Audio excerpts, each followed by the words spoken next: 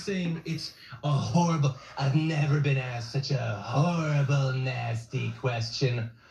You're an adult. What are you talking about? I don't care how nasty it is. How is that how you respond to it? And then the ABC, you're fake news, you're fake news. You should shut up. No one's ever been better for black people. I love black people. It's it's madness. It's sheer madness from floor to ceiling. The massive lies. He demonstrated in the first response every reason that people were saying he shouldn't have been invited in the first place. He hates black people and he hates journalists. So an organization of black journalists seems like a difficult place for him to do well.